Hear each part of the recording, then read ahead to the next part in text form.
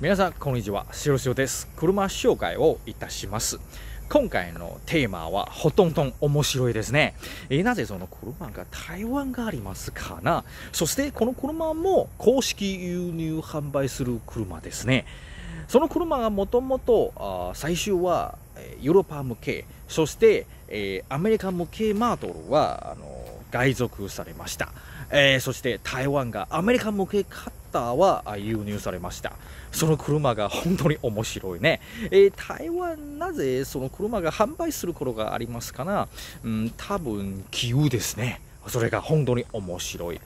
一体今日テーマはどんな車でしょうかな一緒にその日産1代目ロークを紹介しますね。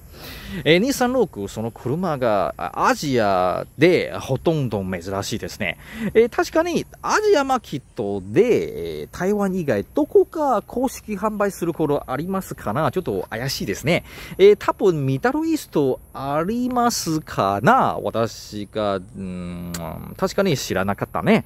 でも、え東南アジアであの台湾だけ販売することがあります。えー、その車が、もともと、あの、アメリカ向け、えー、ですから、えー、アメリカ以外のマーケットは多分、ちょっと少ないと思いますね。えー、その車のシャシが XL 方法以上ですけれども、もともとその車が XL の関連性が少ないですね。えー、確かにその車のオリジナルは日産ドゥアレスですね。えー、どういうと日産カーシカイ。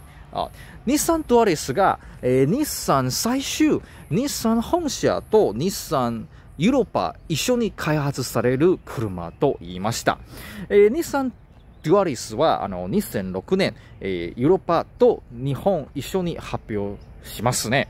えー、そして、えー、なぜその車がロックになる、そしてアメリカンマーケット向けが、それが本当に面白いですよ。SUV その車が、あの、日産が、えー、ちょっと遅いね。えー、確かに、その、フレームレス、えー、シティユース SUV が、えー、トヨタとハンダル CRV も、あの、90年代で発表されました。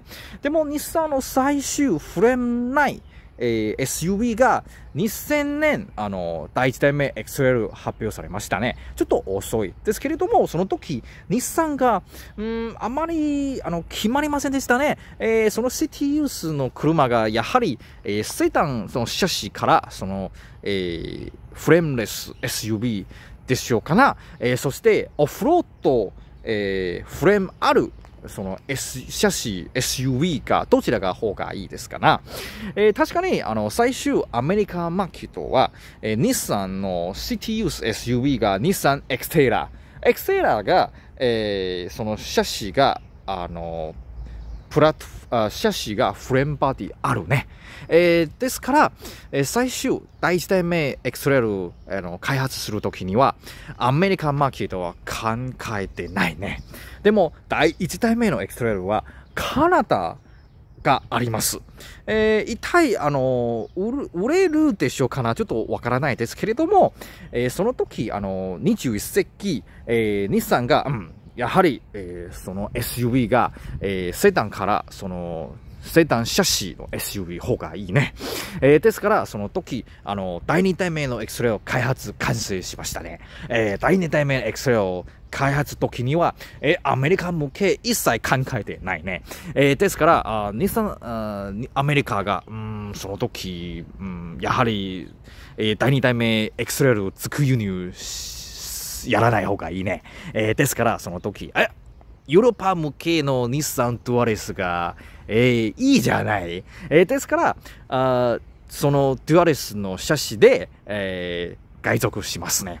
もちろん、あの、ドアレス、その車が、えー、本当にちっちゃい SUV ですね。コンパクト SUV。そんな SUV がアメリカマーケットでほとんど無理ですね。あほとんどに小さい。私がも昔、あの、中国住んでいる時には、えー、中国であドンフォン、日産、キャッシュカイ乗ることがありますね。ほとんど狭いね。今、あの、えー、日産キックスと、えっと、えー、日産ジューク、ほぼ一緒、ちっちゃいインテリアがありますね。えー、そのインテリアがアメリカマーケットはダメ。ですから、あの、その、ローコは、えー、ドアリスのベースですけれども、もっと長くになりましたね。えー、この車の、あの、長さは、あの、33センチミタルがもっと長くになりました。そして、ホイールベースが6センチ以上に、あの、長くになりました。えー、ですから、インテリアの空間がもっと広くになりました。えー、そして、それが本当に面白いね。えー、X、えー、その、ローコのエクステリアが、えー、ドアリスが少し海賊しますね。えー、確かにその後ろで、その後ろのあのデザインが、えー、第2代目、4代サンタフェに似てるね。そして、あの、テールは、あほとんど、えー、デュアレス、だいたい60%同じですね。えー、その前には、あのーえフラントはだいたい30%同じですね。えー、そして、その車のエンジンが全然違います。えー、デュアリスとか、あのーヨーロッパ向け、えー、日産キャシカイがすべて 2000cc、あそして CVT 搭載されました。でもアメリカでその 2000cc の SUV は無理です。えー、ですから、ローグはすべて2.5、QR25、あインライン4、あの4気筒搭載されました。もちろん、あの、えー、トランスミッションバックスはエクソニック CBT ですね。えー、そしてその車が 4WD とフランド WT のマートがあります。えー、台湾がもともとその車、あの開発するときには台湾で販売予定しないね。なぜその車が台湾巻きと公式輸入する頃がありますから、それが本当に面白いね。あの、技で、えー、その時には、ラクションのためにその車輸入されました。え、なぜ、そのブランドが関連性がありますかな。えー、もともとユーロン、あの、台湾の日産その会社がユーロンと言います。ユーロンその会社がもともと第1体目、あの、エクスレルを生産する頃はあります。そして、あの、第1体目のエクスレルは、あの、ちょっと折れますね。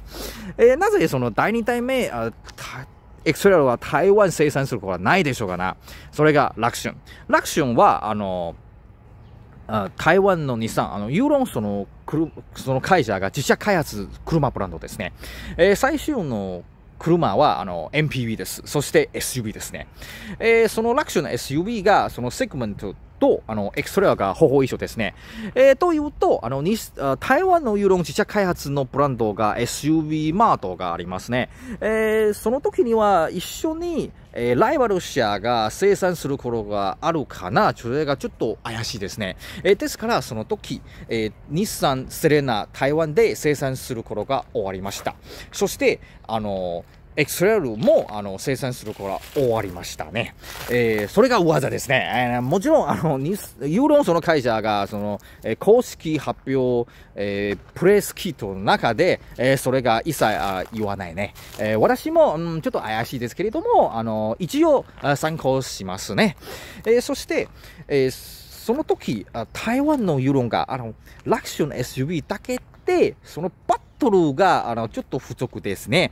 やはり、あの海外輸入する頃があるかな。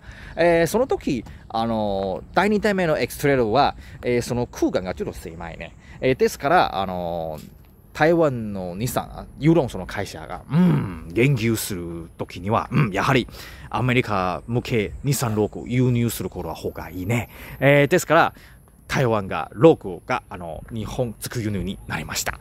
そして、第1代目の日産ロークは全て日本生産ですね。それが本当に面白いですね。えー、そして、あの、第2代目日産ロークは、あの、それが、あの、3代目エクストレア方法一緒ですね。そして、アメリカの第2代目ローク、第3代目エクスレオは、あの、アメリカ生産することがありますね。えー、その理由は、あの、本当に簡単ですね。その時、あの、日本円が高いですね。今の日本円が安いです。でも、第2代目、あの、第1代目ローク生産する時には、日本円はもっと高く高くになりました。あそれが、本当にびっくりしましたね。えー、そして、その車が、えー、アメリカ向けですから、そのエンジンがお、ちょ、ちょ、ちょっと大きいオーバーになりましたね。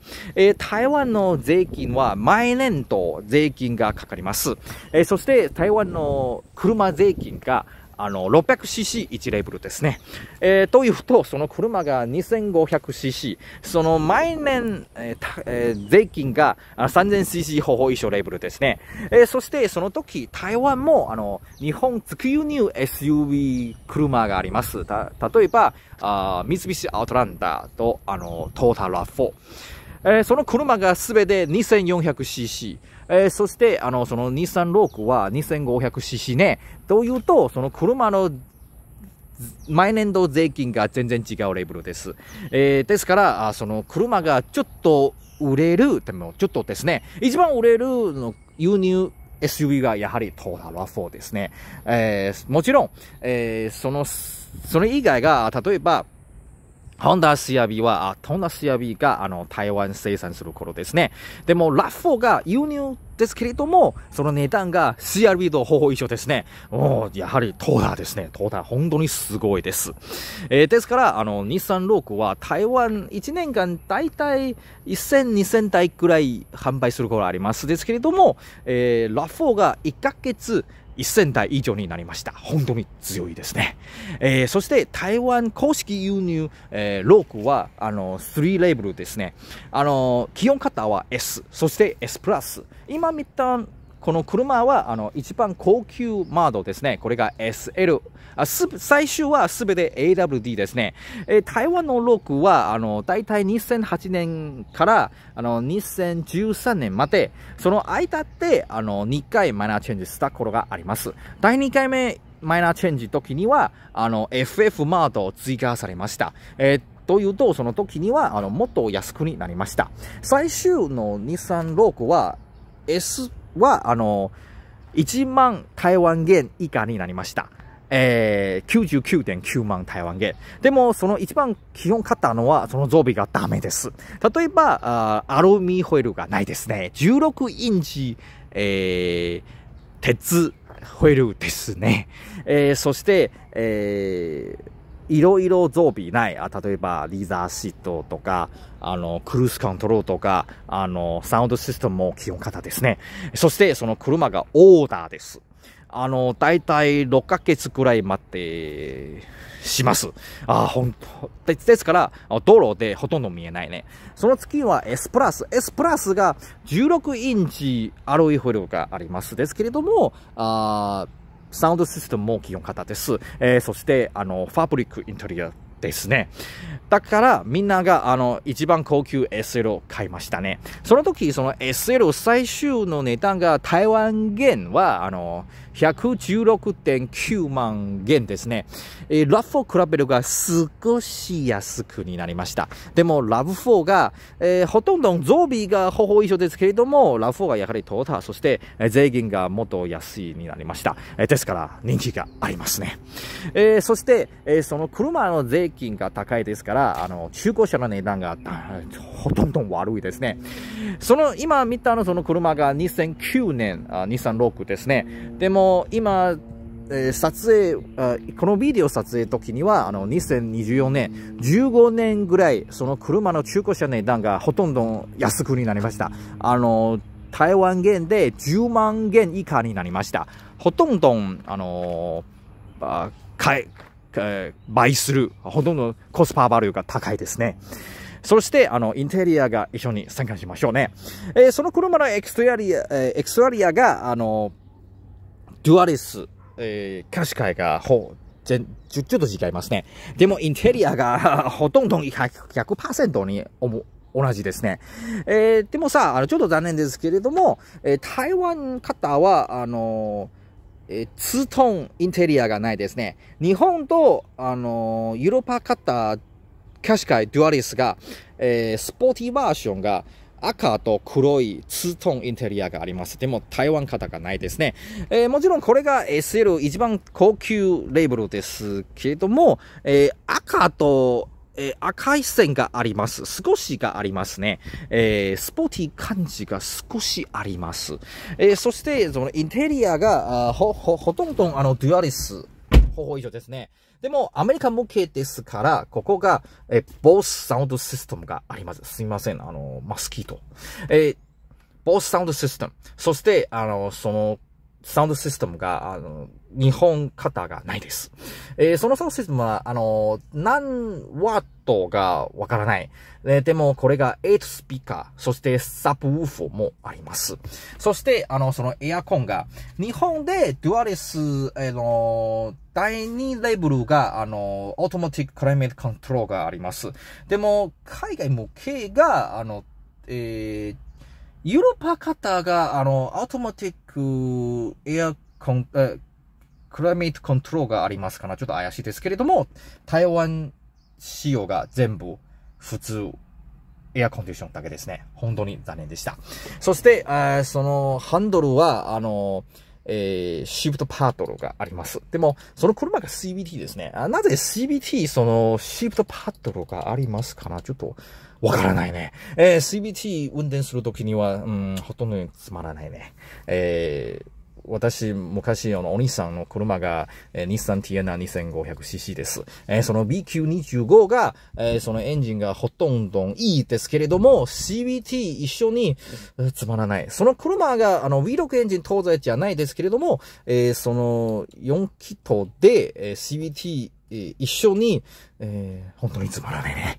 ああ、それかちょっと残念ですけれども、えー、その、ロークも、その、フラントの椅子も、あのこ、ここで、えや、やれます。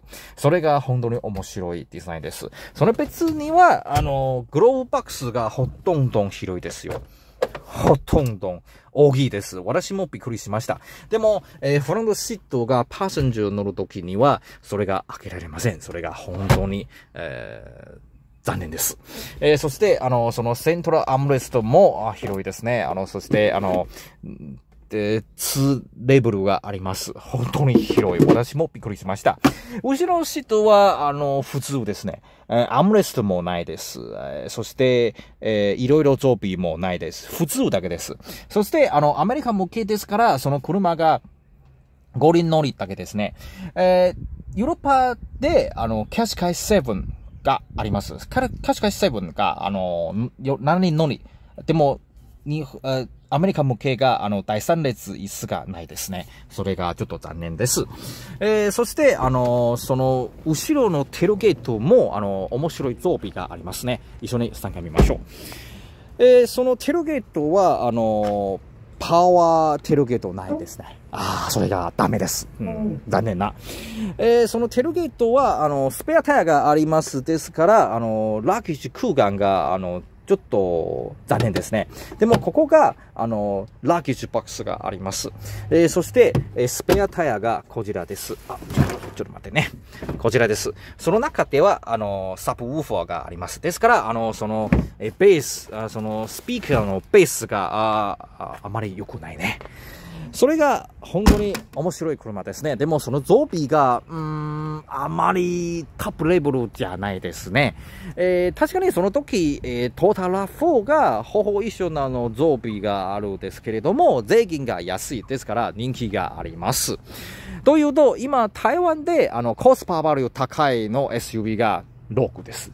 えその車がほとんど安い。そしてパワーが十分ですね。その 2500cc のエンジンが、えほとんど、えー、パワーがあります。えそしてその車 AWD ですけれども、普段時には、えー FWD になりましたね。100と0になりました。えー、でも、あの、必要性ある時には50%対50%になりました。えー、でもさ、あのえー、それが全部、え、コンピューターコントロールですね。え、自分手でスイッチがない。ちょっと残念。残念ですね。そして、あその車が全部 2500cc、あの、フラントウェルドライブと、あの、4WD も、あの、2.5ですね。え、それ、それが、あの、台湾が人気ないの理由ですね。ほとんど残念でした。でも、その車が台湾が縁があります。それが本当に面白いね。えー、日本がその車がないですね。あた、多分あの、並行輸入、個人輸入、100輸入車があるですけれども、これがほとんどが見えないね。以上、今回の車紹介ビデオですね。日産6、その第一代目その車が話しましょうね。えー、みんながその車が好きですか？嫌いですか？一緒にコメントしましょうね。シェルジョです。今回のビデオが終わりましたね、えー、次回もっと面白い車を紹介することがいたしましょうね。じゃあまた今度。バイバイ。